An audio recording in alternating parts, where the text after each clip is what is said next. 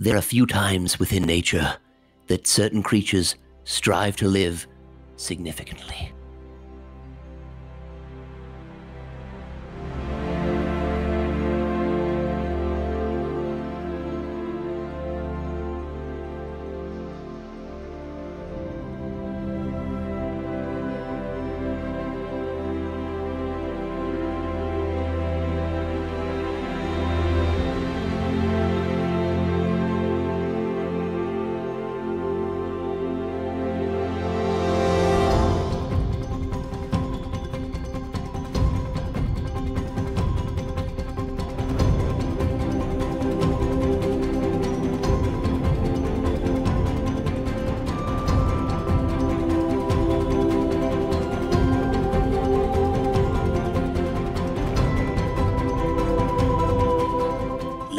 Pictures invites you to embark on this epic journey, following the never before seen lives of these astounding creatures.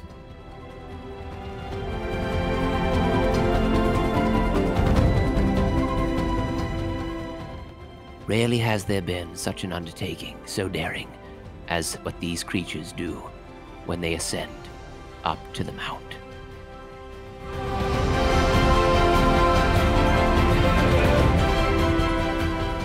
BBC invites you to join in formation in the journey, in the march of the seminarians.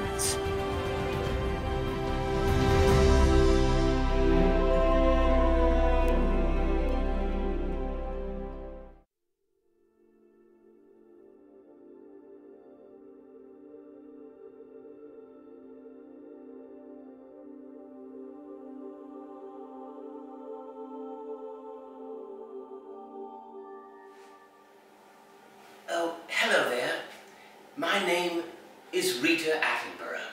I am the American offensive nephew of David Attenborough. And welcome to March of the Seminarians.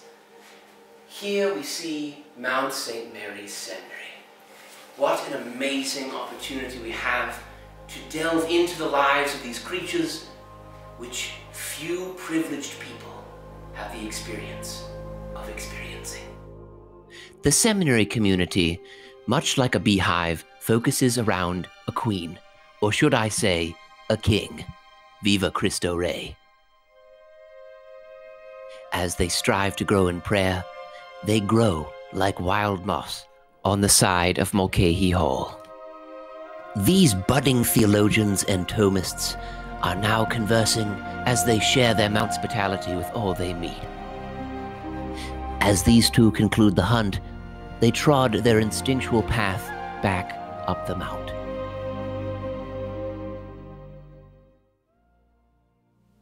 Much like the howling gibbon, these creatures are very individualistic in their food. They choose very particular dishes for themselves. And in doing so, they are each distinct, and yet they are one. Here we see a seminarian scrounging for food.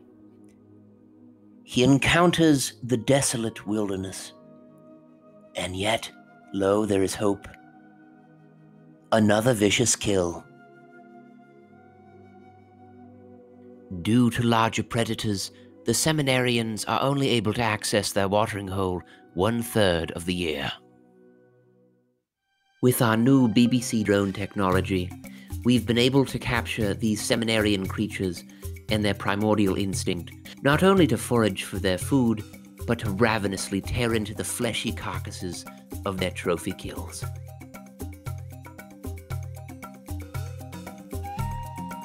Jane Goodall, who spent years, even months of her life alongside gorillas and baboons, learning from them and with them, upon seeing striking similarities between her research and our footage, she reached out to us in hopes of doing similar investigations with these creatures. Unfortunately, these seminarians have moved from discernment to decision, rendering it impossible for a woman to live among them. Having filled their bellies, the seminarians now turn to filling their minds. While many are malnourished in this regard, the intellectual libation is required for the whole house. We come now to the arid land, which is called library. In this land, we do not find many seminarians. There are others of a richer variety, as we see here. However, this sparse land is only populated twice a year. Once around finals, and the other around midterms. Let us drink it in, just as seminarians come here to drink from the stream of knowledge. There is more to life than simply the studying, or rather the eating. There is also time for recreation. The mama bear is with her cubs just beyond this doorway. The cave is an auspicious and delightful place to reside. But beware, the plague can get vicious. This cub has been infested with ticks. These young pups, which are roughhousing, are actually learning delicate skills that they will use in the future.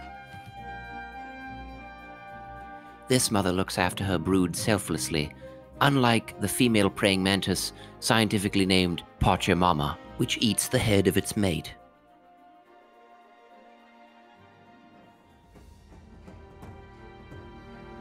In the harsh landscape of contemporary secularism, these remarkable creatures are capable of overcoming all odds. But they need your help. For you and they, while distinct, are not so separate. If we can all foster an environment of vocations, then many more will join in. The Church the saints.